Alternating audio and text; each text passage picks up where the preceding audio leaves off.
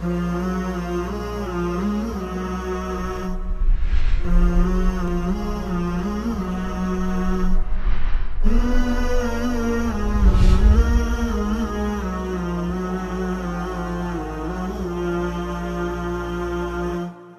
sial padahal ini menyalahi perintah Rasulullah sallallahu alaihi wasallam. Rasulullah sallallahu alaihi wasallam menginginkan agar supaya kita itu selalu optimis. Di Gorontalo bukan cuma burung, tapi di Gorontalo ada uh, yang lain yaitu cecak. Bagaimana pasar hari ini, pasar di bulan ini? Sepi Ustaz. Biasanya hulala totowalia. Ternyata akidah dan tauhid adalah merupakan nikmat Allah Subhanahu wa taala yang begitu besar.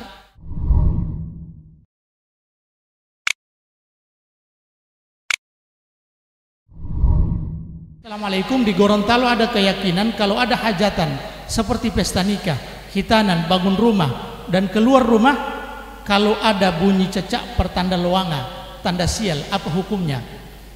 Uh, ikhwan dan akhwat fillah rahimani rahimakumullah. Uh, ini yang masuk dalam bab tatayur. Tatayur itu ada keyakinan atau perasaan sial. Merasa sial padahal ini menyalahi perintah Rasulullah sallallahu alaihi wasallam. Rasulullah sallallahu alaihi wasallam menginginkan agar supaya kita itu selalu optimis. Karena Nabi sallallahu alaihi wasallam yu'jibuhul fa'lul hasan. Adalah Rasulullah sallallahu alaihi wasallam senantiasa menginginkan optimisme yang baik. Wa yakrahu uh, at-tasyaum. Wa yakrahu at-tasyaum dan Rasulullah membenci yang namanya uh, pesimisme atau merasa sial.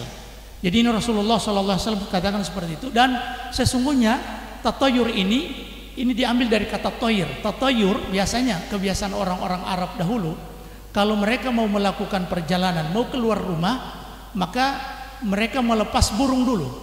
Kalau seandainya burung ini terbang ke kanan maka pertanda bahwa ini adalah keberuntungan.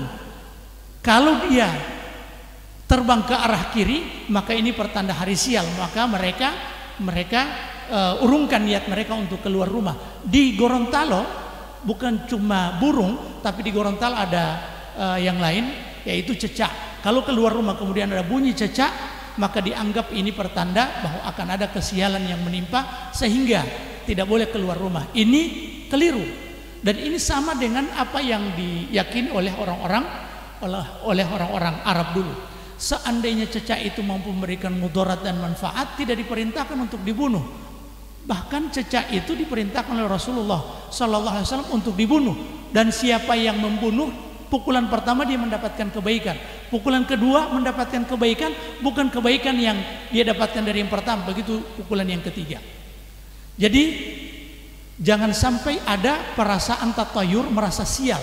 Dan biasanya psikologi kita itu akan terbentuk dengan pola pikir kita dan akhirnya kita merasa sial terus. Dan Allah Subhanahu wa taala sebutkan qalu ta'irukum ma'akum. Sesungguhnya kesialan kalian ada pada diri kalian. Sesungguhnya kesialan itu ada pada diri kalian. Kita senantiasa memohon kepada Allah Subhanahu wa taala kebaikan dan selalu optimis. Selalu optimis, jangan sampai kita merasa bahwa ada kesialan yang akan terjadi.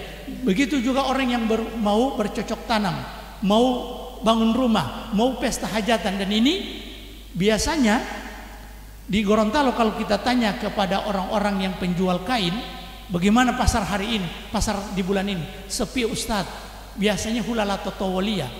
Rabiul awal, Rabiul akhir, Jumadil ula, Jumadil uh, ini pasar sepi. Kenapa? Karena ada keyakinan bahwa kalau melakukan hajatan di sini maka nanti akan menimbulkan kesialan. Dulu orang-orang Arab memiliki atau mereka kebiasaan mereka tidak mau melakukan pernikahan di bulan Syawal sama dengan kita di bulan Rabiul Awal, Rabiul Akhir.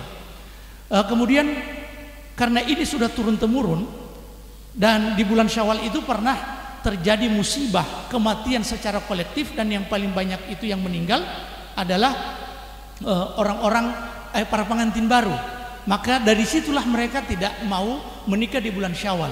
Aisyah radhiyallahu taala ingin membantah itu. Aisyah mengatakan Rasulullah menikahi menikahiku di bulan Syawal uh, mendatangiku di bulan Syawal. Fa ayyu nisa'in nabi sallallahu alaihi wasallam ahdha indahu minni. Maka siapa wanita yang paling beruntung di sisi Rasulullah sallallahu alaihi wasallam selain aku? Ini pertanda bahwa sesungguhnya itu cuma anggapan saja dan itu tidak benar dan setiap kita beranggapan seperti itu maka hati kita akan cenderung untuk mengikuti itu pada akhirnya kita menjadi orang yang tidak memiliki keyakinan yang benar dan ternyata akidah dan tauhid adalah merupakan nikmat Allah Subhanahu wa taala yang begitu besar yang Allah anugerahkan kepada manusia. Wallahu taala alam